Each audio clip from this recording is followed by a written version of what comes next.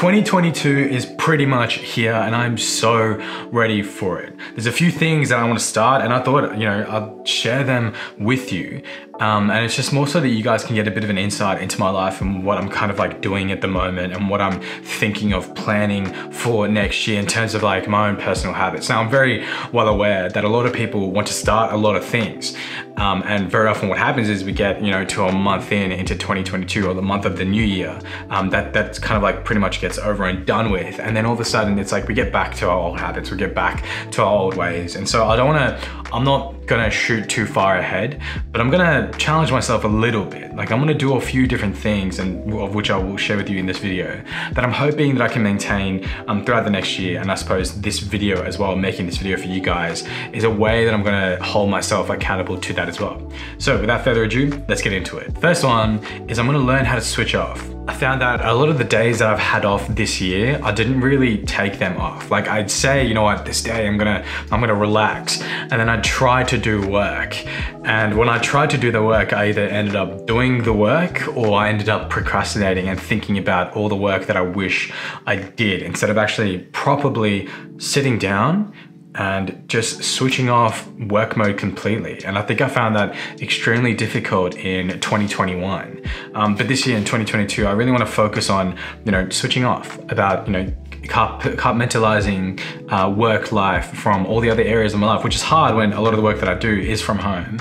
But I still want to kind of create those boundaries within home itself so that I have, like, I give my mind a bit of a break because I truly feel like, you know, it's not like I can't do my best work if I don't feel well rested, if I don't feel like, you know what, um, you know, like I'm rejuvenated to get back into the mood of like, you know, putting in the work, being productive and all that. Because if you're, if you're switched on all the time, like if you're always on all the time, um, you can get burnt out very quickly. And I, and I, and I believe that. So this year I want to make sure that I, um, you know, I, I, learn how to switch off. The second thing I want to do this year is get financially literate. This is just something that I've just been really putting off. Like I haven't given enough time. Like I need to spend time learning about money, how like how it all works, you know, investments into property, into crypto, into stocks. Like I need to learn more about it because I just haven't given it enough time at all this year. It's not that I'm late to it, um, or it's just like, you know, it's one of those things where it's important, but I don't feel like it is urgent.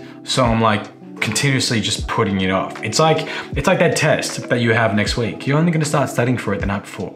It's what we do, right? We only do it when it's urgent. And I don't want to I don't want to take that mindset and apply it to, you know, learning about money this year. I want to make sure that I become a lot more financially literate so that I can make some good moves with it. And probably with that as well, um, I'll probably at some point start making videos in relation to money and making money and how you can make money um, because it'd be something that I'm definitely learning about and how like I suppose these videos as well for me it also helps me learn and retain information as well. Um, so it's be definitely something that you guys could be looking forward to definitely this year. The way the world is moving um, I think if you're like in your 20s or like even in your 30s or even if you're young like whatever age if you don't know about money and you kind of just go about your daily business it's very easy to kind of get lost into all the ins and outs of the world and end up falling behind. Like in, they say inflation is rising at a rate of 3% every year. But if you look at the prices of houses, for example, in a city like Melbourne and Sydney, house prices are, are skyrocketing up and that's inflation. Um, so the real inflation rate, you couldn't really say it's 3%. You could say it's something, they say it's something close to like 10, 15%. Um, and if your money's just sitting in a bank account, um, then it's not gonna be, this is not financial advice by the way, FYI. But if your money's sitting in a bank account like how mine is, um, it's just losing money. Like it's just, like year on year, your your buying power decreases. And so if you learn about money and learn how the, the, whole system behind it and how it works and how you can make more, how you can, you know, think about the life that you want to live and then think about how you can earn in relation to that and still do all the things that you want to do. That I think that's incredibly valuable and it's definitely a skill that I want to make sure that I implement and do more of this year. The third thing I want to implement more of this year is reading. Like I've listened to a lot of audiobooks now and like that was like I'm glad that I started off with that because before I wasn't listening I wasn't reading to any books at all. But in 2020 and in 2021 I started listening to audiobooks and I've you know I've really fell in love with stories with learning all these different things. And I really believe that the next step for me is actually physically picking up the book and now flipping through the pages and reading it like that or using a Kindle. Because I feel like I don't do enough of that and there's so much so much to learn. Like essentially what you're doing with reading is is you're like you're getting insights into like if you take um, like self-help books you get you take you're getting insights from people that are much older than you or very likely to be much older than you and you're learning from their mistakes you're learning from their experiences and you're getting advice directly from them. And if you if I think about it like that then I'm missing out on so much by not picking up the books and reading them um, by just listening to audiobooks like while I'm driving or something. It's not like I can take a note right then and there. Um, it's completely different with when I'm actually physically reading the book or like tapping through it on a Kindle. Um, and that too, you know, like with these videos, like I'd love to share a lot more um, about, you know, about all these different things that all these people are doing and like, you know, different ways to make money, different ways to, you know, improve your mental health, um, how you can live more happier, but then not change too much, how you can be more grateful in life. Like I want to, I want to kind of like, instead of just going through what I know and what I randomly read here and there, I want to share, you know, other big ideas with you because I feel like there's so much more value in what a lot of other people have to say as well. Like I don't want you guys just to have my own words, but I want you to have, you know, the words of um, of like hundreds of people that are out there that are doing probably a lot of things way, way, way better than what I'm than, than what I'm doing. Um, so that's there. That's definitely something I want to focus on this year. I just want to read a lot more books and pick up those books physically. The fourth habit that I want to implement this year is trusting my gut. I tend to overthink a lot of things, and a lot of the decisions that I make, I like rationalize it. I think about all the different options. I think about what's going to be best for this, what's going to be best for that, um, and it's very, very, it's a very head-based decision. And I feel like the best decisions are made when not only your head's in it, but your heart's in it as well, um, or like heart, gut, whatever it is. And so this year I want to make a lot more decisions using you know what I'm feeling about it rather than just using my head. Um, and I want to make sure that I trust that because I don't feel like I've given my heart, my gut enough credit in the past.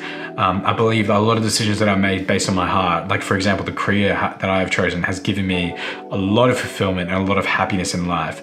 And I definitely want to do a lot more of that this year. And to be honest, it's like scary. It is very, very difficult because, you know, it's almost like I feel like I'm going in blind. It's like all of a sudden a decision that I would think so much about, that I would factor in every single factor that could possibly, you know, factor into making this decision.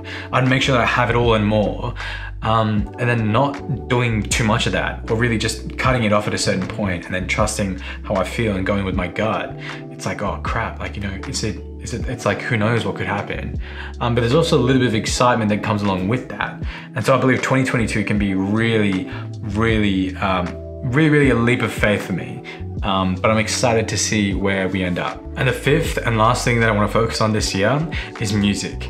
I've had this guitar like I've had this guitar for like four years, and for lack of a better word, I, I suck at it. Like I am bad beyond belief, and it's like it's just something that's kind of like just been in the background now. That like it just looks good, and people come over and they're like, "Oh, him, do you play guitar?" And I'm like, "No, yes, kind of." And I want to I want to be able to confidently say, yes, I play the guitar, um, and that's obviously going to start off with like a lot of effort personally, like a lot of time spent practicing, learning, um, and I'm gonna, I'm, I'm, definitely gonna do that. Like music has been such a big part of my life, especially when I was growing up.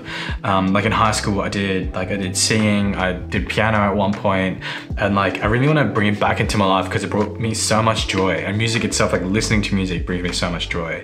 And imagine if I could just create that um, as well. And it's definitely something that I definitely want to do um, this year and I really look forward to it. In fact, it's probably one of the things that I'm most excited about.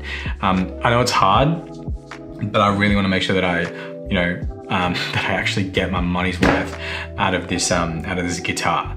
So So yeah, all right guys, that's pretty much it. Those are the five things that I want to implement this year that I'm really, really excited to share with you along the journey as well. Let me know what you guys want to do this year. Let me know in the comments below.